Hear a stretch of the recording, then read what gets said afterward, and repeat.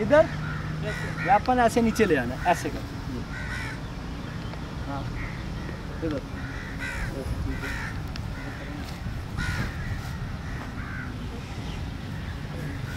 बाजू को अपना ही